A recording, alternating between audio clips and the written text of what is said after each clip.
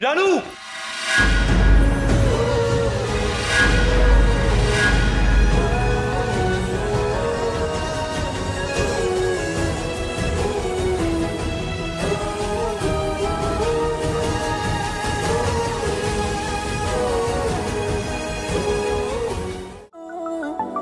এটা গল্পকার দেখো লিখছে কে?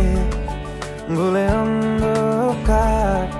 আলো শিখছে কে কিছু আবদারে জানি নেই মানে তোর সঙ্গে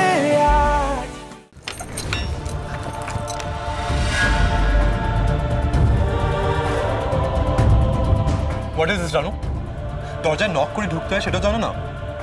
দিস ইজ বেসিক ম্যানার্স কি এমন চিঠি? সে কারুর হাতে দেওয়া যায় না?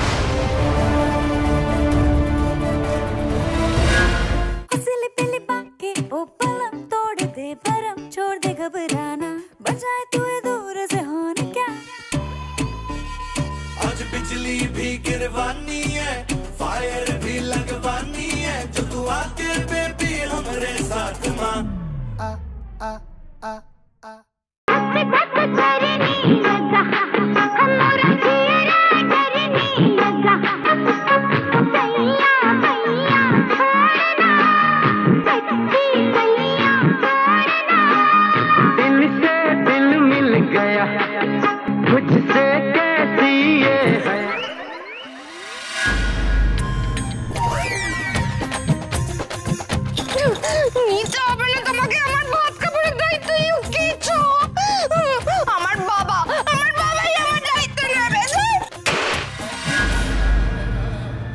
আবার ভাত কাপড়ের দায়িত্ব।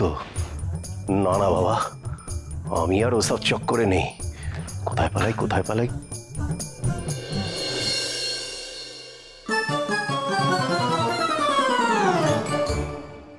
সোনা সোনা। এই সোনা সোনা কোথায় গেলে তুমি সোনা? আমি নেই কোথাও নেই।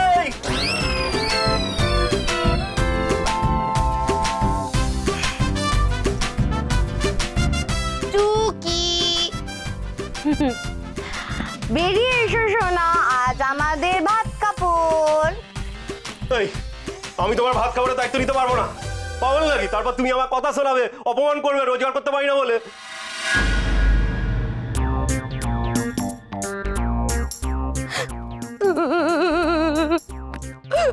তুমি কি আমাকে একটুও বোঝো না? হ্যাঁ? হ্যাঁ? আমি কি তোমাকে অপমান করেছিলাম, বলো। আমি তো তোমাকে অপমান করেছিলাম, যাতে তুমি একটু অপমানিত বোধ করে নিজের জন্য একটু রোজগার করো। আমি তো তোমার স্ত্রী। কোন বউ চায় না, বলো? তারপরে রোজগারের টাকায় একটুখানি শখ আহ্লাদ করতে। সবে তো শুরু। দেখো না কেমন ডায়লগ আমি জানি আমার উপরে তোমার অনেক রাগ। আমি এটাও জানি যে তুমি ভাবো যে আমি ইচ্ছে করে তোমাকে মহিমণ্ডলের হাতে তুলে দিয়েছিলাম। আমার বাবার টাকা তো তোমাদের কি হ্যাঁ?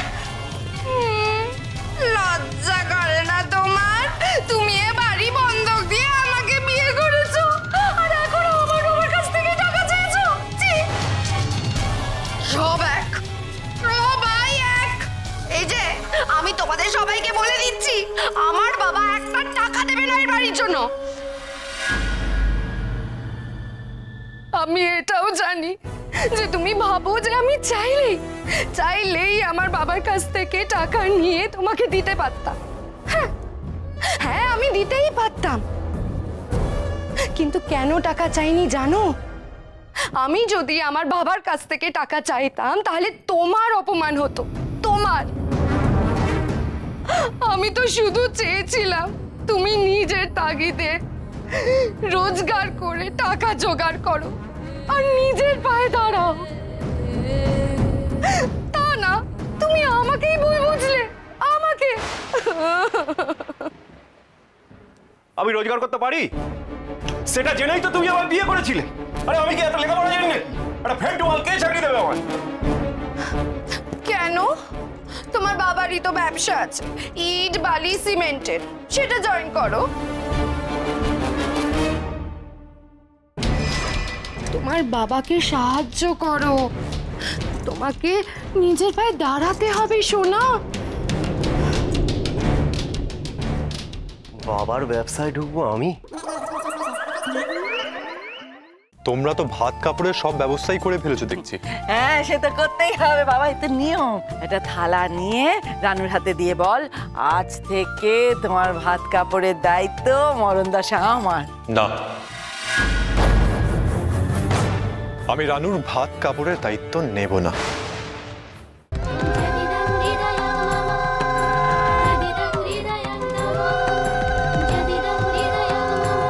এতদিন ধরে এই দিনটার অপেক্ষাই করছিলাম। আমার দাদা সাগর দত্তর অকাল মৃত্যুর বদলা নিতে আমি জয়ী দাশগুপ্ত তোমায় ধ্বংস করতে এসেছি। তুমি আমায় খুড়োমশাইয়ের কাছে ফিরিয়ে দেবে? এমন কথা কেন করছ মা? তুমি সেখানে যেতে চাওনি? না। খুড়িমা মারে বলে কেন এলি এখানে? মা আর একটা কি অদ্ভুত স্বপ্ন দেখলাম জানো? আর স্বপ্নটা শোনো কি দেখেছি। শ্যামা আমাকে গান শোনাচ্ছে মা। আমার ভয়টা যেন কিছুতেই যাচ্ছে না।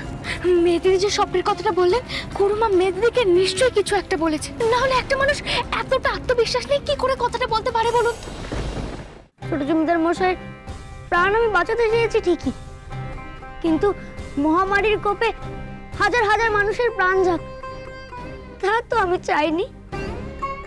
আমি সবার ধ্বংসের কারণ হতে চাই না মা। বাঁচাও তোমার সন্তানকে। উপায় বলে দাও মা।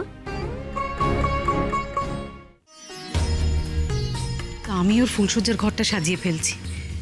কিন্তু একটাই দুঃখ যেন এই ফুলসজ্জার রাতে বন্ধুরা ঠিকমতো সাজতে পারবে না। এই শাড়ি গয়না সব পরিয়ে ফুলের সাজে সাজাবো তোকে। আর যে তোর বউ ভাত কি হয়েছে সবই মিস্তাদা জানো অনন্ত দাদারা এখানে লুকিয়ে ছিল আর পুলিশও ঘুরছিল আশেপাশে। আমি মিথ্যে মিথ্যে পেট ব্যথার ভান করেছি। পুলিশ আর সকলে আমাকে নিয়ে ব্যস্ত হয়ে পড়েছিল আর এই ফাঁকে অনন্ত দাদারা ঠিক পালিয়ে গেল। বলো না মিস মিস্তাদা আমি কি অন্যায় করেছি? বকুল মিঠুকে এত সহজে ছাড়বে না। আর একবার যদি মিঠুকে ধরে ফেলে বকুল আর তখন যদি জেরার মুখে মিঠু বকুলকে বলে দেয়, পরীক্ষার হলের ঘটনাটা আপনি ওকে দিয়ে করিয়েছিলেন। তখন প্রমাণ চাইছো তুমি? আপু প্রমাণ করার জন্য তো সন্দেহ করতে হবে। আর সেই সন্দেহ তালিকাতে না তুমি আছো। আর অন্যায় করো না। আর অন্যায় পারো বাড়িও না আবু যত অন্যায় করবে, তত শাস্তি পাবে। লজ্জা করে না? বড় একটা অন্যায় করার পর আমার আব্বুর গায়ে হাত দিতে তোমার লজ্জা করে না? মোহিনী আন্টি তুমি আমার মায়ের কোনো খোঁজ পেয়েছ গো? তোমার সঙ্গে আমার মায়ের দেখা হয়েছিল। তাহলে কেন বলছিল আমার মা কোথায়? আই কখন দেখাল দেখাল তোকে বলব না কেন? তোমার জামায় মায়ের কানের দুল লেগে আছে। ওটা মায়েরই। আমি চিন্তা একদম ভুল করছি না। বাবারা দুধ দেয় না? আপনার কি বুদ্ধি নেই নাকি? গরু দুধ দেয় না গায়ে দুধ দেয়। না আমি জানি না। আমি শুধু দুধ খেয়েছি দুধ দোয়ানো কখনো দেখিনি। তাহলে এখন দেখুন। হ্যাঁ দেখব। সাবধান।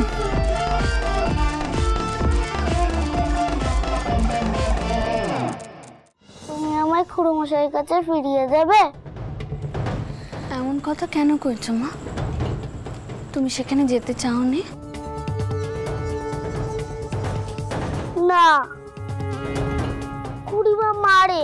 বলে কেন এলি এখানে? মা আর একটা কি অদ্ভুত স্বপ্ন দেখলাম জানো? আর স্বপ্নটা শোনো কি দেখেছি? শ্যামা আমাকে গান শোনাচ্ছে মা। আমার ভয়টা যেন কিছুতেই যাচ্ছে না। মেয়েদের যে স্বপ্নের কথাটা বললেন খুড়িমা মেয়েদেরকে নিশ্চয়ই কিছু একটা বলেছে। না হলে একটা মানুষ এতটা আত্মবিশ্বাস নেই কি করে কথাটা বলতে পারে বলুন? ছোট জমিদার মশাই প্রাণ আমি বাঁচাতে চেয়েছি ঠিকই। কিন্তু মহামারীর কোপে হাজার হাজার মানুষের প্রাণ যাক। তা তো আমি চাইনি।